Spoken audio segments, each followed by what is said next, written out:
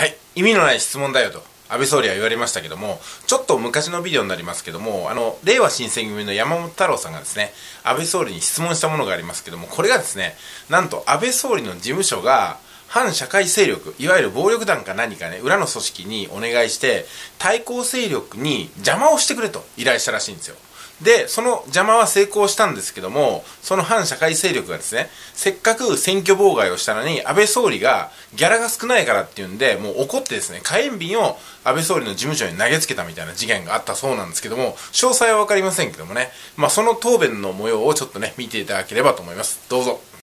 院が例として挙げられた件でございますが、いずれにせよこの件はですね、有罪判決が下っているわけでありまして、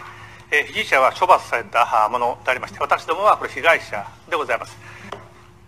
はい、山本太郎君。はい、判決が下り、処罰が下された、我らは被害者であると、確かにそういう判決あのその方向性で裁判につながっていった話だと思うんですけども、私が話しているのはその前の話なんです。自分たちが応援している陣営、これが有利になるために、相手陣営に対して選挙妨害をするように発注をしたと。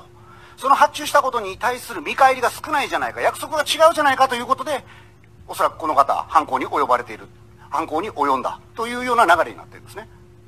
だから、私たちは被害者であるという以前の問題で、暴力団員とつながりのあるような人間に対して民主主義の根底をひっくり返すような選挙妨害、これを発注するということに対して、大問題であると当然じゃないですか、これ。当たり前ですよ。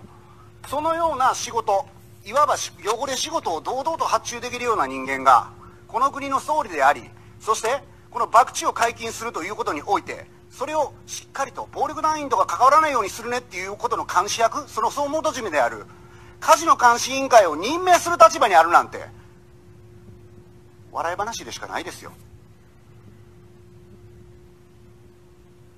大臣はご退席いただいて結構でございます。